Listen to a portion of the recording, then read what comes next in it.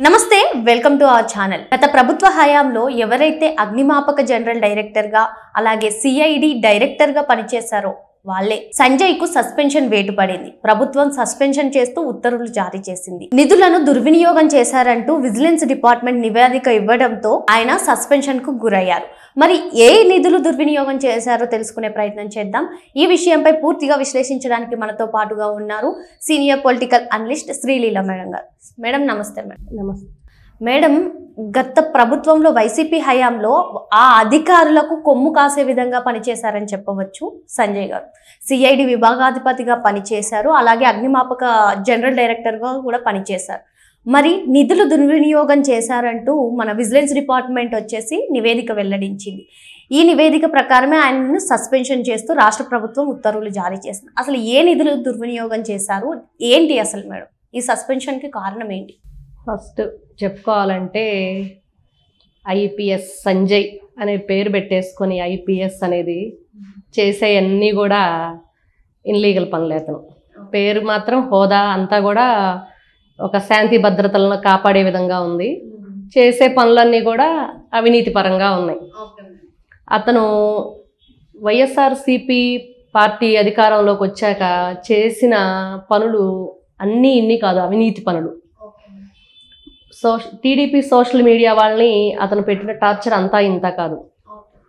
అనవసరమైన కేసులన్నీ బనాయించి వాళ్ళ మీద పత్రికలను పిలిపించేసి వాళ్ళ సోషల్ మీడియా అకౌంట్స్ అన్నీ చదివిస్తూ ఇలా చేస్తాం మిమ్మల్ని అలా చేస్తాము పోస్టులు పెట్టడానికి వీల్లేదని బెదిరించి ఒకటి కాదు. అలానే ఇప్పుడు ప్రజెంట్ అతను సస్పెండ్ అయింది ఏ విషయం అంటే ఎస్సీ ఎస్టీ అట్రాసిటీ అనే దాని మీద గిరిజనులకు అవగాహన సదస్సు. అనేది నిర్వహించడానికి వీళ్ళు ఒప్పందాలు చేసుకున్నారు.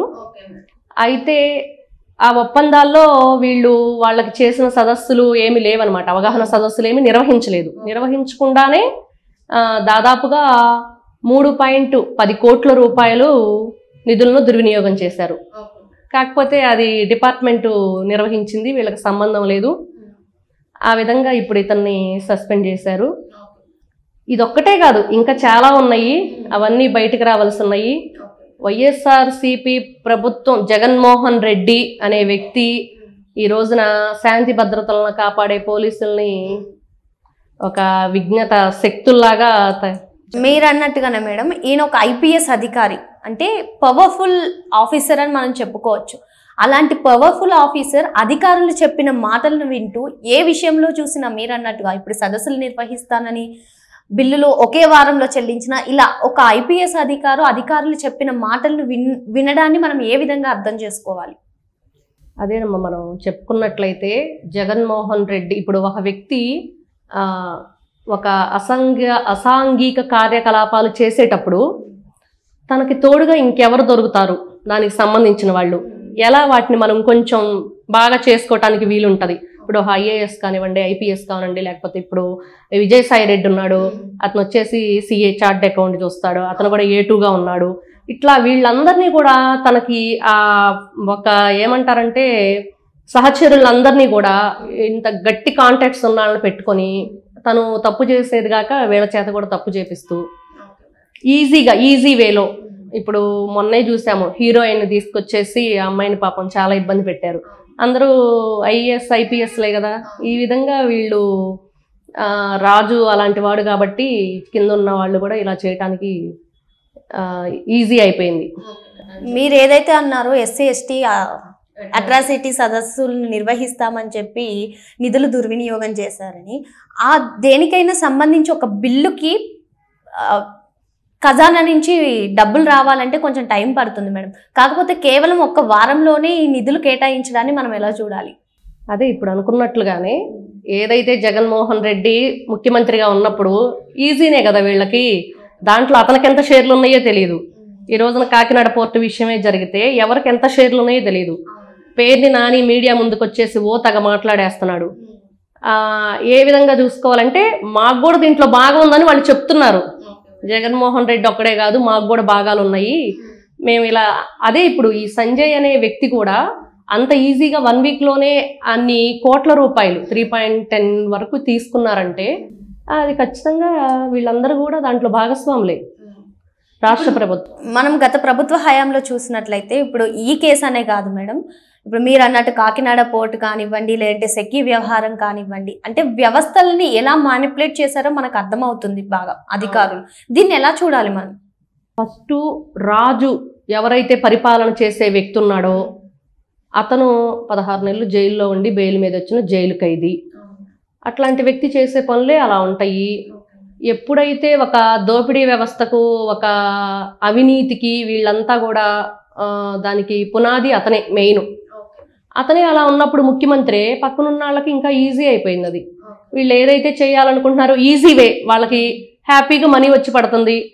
ఎట్లయితేనేమి ప- పట్టించుకునే వాళ్ళు ఎవరు లేరు కదా వాళ్ళదే అధికారం ఉన్నప్పుడు ఇంకా అనేవాడు ఎవరూ లేరు. మేమే ముప్పై సంవత్సరాలు పరిపాలన చేస్తామని జగన్మోహన్ రెడ్డి మొన్నటి వరకు one seventy why not one seventy five అని చెప్పుకున్నాడు. ఇంకేముంది థర్టీ ఇయర్స్ కాదు ఇంకెన్నాళ్ళైనా మేమే పరిపాలన అని చెప్పేసి ఎవరు ఇష్టం వచ్చినట్లు వాళ్ళు రాష్ట్రాన్ని దోచేశారు. ఇదైతే ఖచ్చితంగా చెప్పొచ్చు. ప్రస్తుత ఏపీ ముఖ్యమంత్రి చంద్రబాబు నాయుడు గారి అక్రమ అరెస్ట్లో ఈ సంజయ్ ది కీలక పాత్ర ఉందని అభియోగాలు వస్తూ ఉంటాయి. దీనిపై మీ స్పందన? ఖచ్చితంగా అతనే అన్నిటికీ కర్త క్రియ కర్మ జగన్మోహన్ రెడ్డి తర్వాత సంజయ్ ఆ విషయంలో అయితే. పన్నాగం పన్నింది జగన్ అయితే అమలు పరిచింది సంజయ్ అంటారా? సంజయ్ కరెక్ట్. పన్నాగం పన్నింది జగను అమలుపరిచింది సంజయ్. ఈ సంజయ్ అనే వ్యక్తి ఎవరు ఎప్పుడు ఏ టైంకి వెళ్ళాలి ఎలా వెళ్ళాలి ఎలా చేయాలి? ఇవన్నీ కూడా ఇతనే చేసి కీలక పాత్ర పోషించాడు.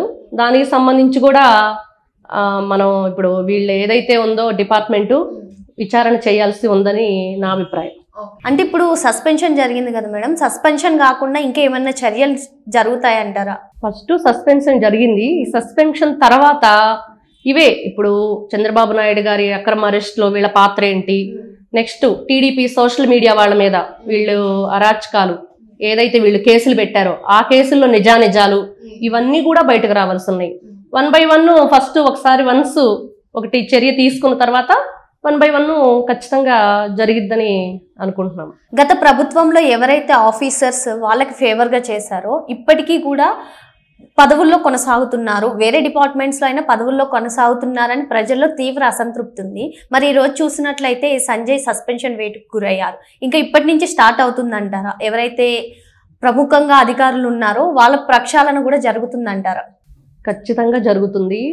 ఇప్పుడు ఒక రాజ్యాధికారం మనం చేపట్టిన తర్వాత అంతకుముందు ఏదైతే అవినీతి అక్రమాలు ఇవన్నీ కూడా జరిగినాయో ఒక్కసారిగా మనం దేన్ని కూడా ఇన్ని విభాగాలు ఎన్నో రకాలైన ఉన్నాయి అన్నిటి కూడా మనం one by one one by one చూసుకుంటూ వెళితే ఒక్కొక్కటిగా బయటపడుతున్నాయి. ఈ రోజు కూడా ఎంతో మంది బాధితులు ముందుకు వస్తున్నారు. ఎందుకు? ఒక పోలీస్ ఆఫీసరు దోషిగా నిలబడ్డ తర్వాత వీళ్ళకి ధైర్యం వచ్చింది.